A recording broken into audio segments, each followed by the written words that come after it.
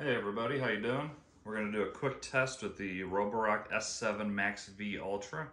We're going to see how well it does with object avoidance. As you can see, we have some fake dog poop, a white charging cable, a toy car, and just a random base in this little area.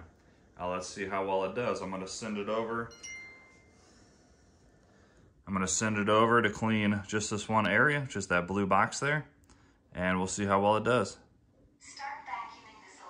It's gonna head its way over and once it gets over here, I'll kind of do a quicker time lapse for you so it's quicker.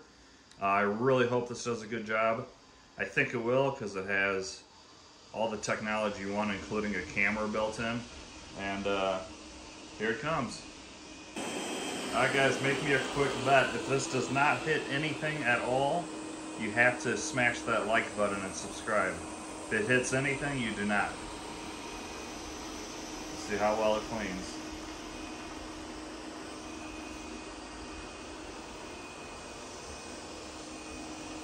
This is actually the first cleaning run I've done with this robot yet.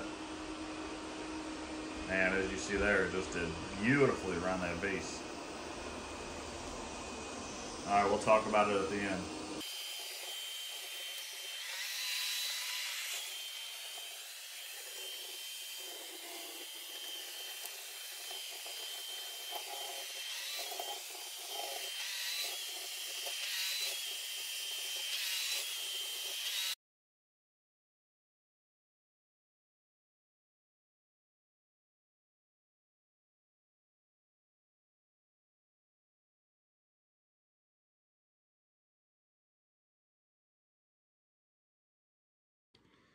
Alrighty, there we go. Pretty much, or actually a perfect test. It didn't even consider running into any of the stuff. And this is a very tight, small area to have four objects.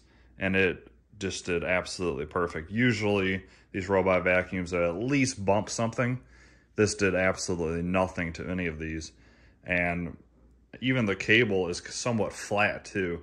Usually in my test, I try to kind of poof it up to where a piece of the cable is sticking up a few inches. But this time I decided to try to lay it mainly flat and it completely avoided it. Same with the dog poop.